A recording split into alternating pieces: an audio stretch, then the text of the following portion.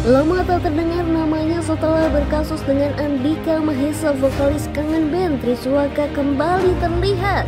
Kali ini konten kreator asal Yogyakarta ini mendatangi Krimum Polda Metro Jaya pada Senin 20 Juni 2022. Belum diketahui kedatangannya menyoal apa, namun selintingan kabar berhembus Triswaka yang ditemani oleh Anggra Chandra rekan sesama musisi dan Mario Aniansyah selaku kuasa hukumnya datang karena melaporkan pihak-pihak yang sudah mencemarkan nama baik Suaka.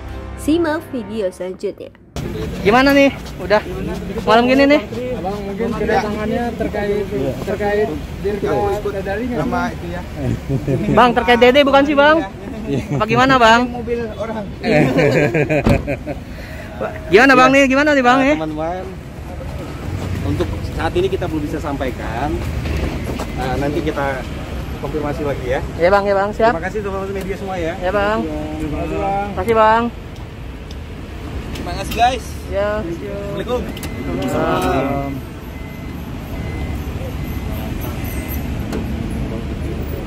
Ya.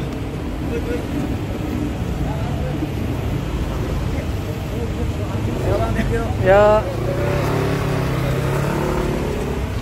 Tri tri trinya tri.